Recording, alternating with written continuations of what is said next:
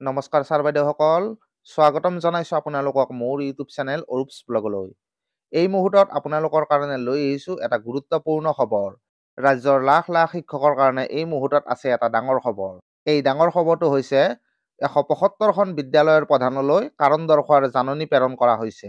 চৌকছ notice জাৰি কৰা হৈছে এশ পঁসত্তৰখন বিদ্যালয়ৰ প্ৰধানলৈ। আগন্তুক হাইস্কুল শিক্ষান্ত পৰীক্ষা আৰু উচ্চতৰ মাধ্যমিকৰ চূড়ান্ত পৰীক্ষাৰ বাবে বিশেষ পাঠদান অনুষ্ঠিত নকৰাৰ কাৰণে এশ পঁসত্তৰখন বিদ্যালয়ৰ প্ৰধানলৈ কাৰণ দৰ্শোৱাৰ জাননী প্ৰেৰণ কৰা হৈছে।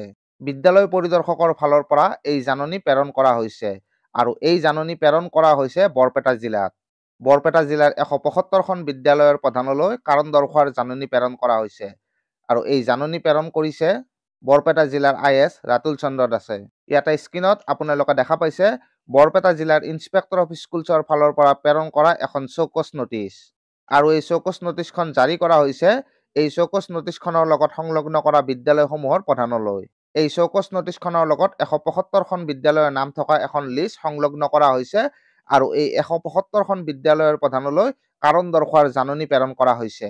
বৰপেটা জিলাৰ ইন্সপেক্টৰ অফ স্কুলছৰ ফালৰ পৰা এক ফেব্ৰুৱাৰী দুহেজাৰ চৌব্বিছ তাৰিখৰ পৰা দহ ফেব্ৰুৱাৰী দুহেজাৰ চৌব্বিছ তাৰিখলৈকে আগন্তুক হাইস্কুল শিক্ষান্ত পৰীক্ষা আৰু লগতে উচ্চতৰ মাধ্যমিকৰ চূড়ান্ত পৰীক্ষাৰ প্ৰতি লক্ষ্য ৰাখি বিশেষ শ্ৰেণী অনুষ্ঠিত কৰিবলৈ নিৰ্দেশ দিয়া হৈছিল আৰু লগতে প্ৰত্যেক দিনাই দুপৰীয়া দুই বজাত এখন গুগল ফৰ্ম ছাবমিট কৰিবলৈ বা গুগল ফৰ্ম ফিল আপ কৰি ছাবমিট কৰিবলৈ নিৰ্দেশ দিয়া হৈছিল। কিন্তু বৰপেটা জিলাৰ এশ পঁসত্তৰখন বিদ্যালয়ে হাইস্কুল শিক্ষান্ত পৰীক্ষা তথা উচ্চতৰ মাধ্যমিকৰ চূড়ান্ত পৰীক্ষাৰ শিক্ষাৰ্থীসকলৰ কাৰণে এই বিশেষ শ্ৰেণী অনুষ্ঠিত নকৰাৰ বাবে এই চৌকছ নটিচখন প্ৰেৰণ কৰা হৈছে।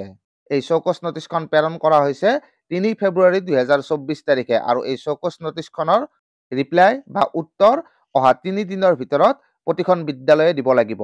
ত' ছাৰ বাইদেউসকল নিশ্চিত ৰূপত এটা অতি গুৰুত্বপূৰ্ণ খবৰ হাইস্কুল শিক্ষান্ত পৰীক্ষাৰ পৰীক্ষাৰ্থী তথা উচ্চতৰ মাধ্যমিক শিক্ষান্ত পৰীক্ষাৰ পৰীক্ষাৰ্থীসকলৰ কাৰণে ছাত্ৰ ছাত্ৰীসকলৰ শৈক্ষিক অগ্ৰগতিৰ প্ৰতি লক্ষ্য ৰাখি বিশেষ শ্ৰেণী অনুষ্ঠিত কৰিবলৈ নিৰ্দেশ দিয়া হৈছিল।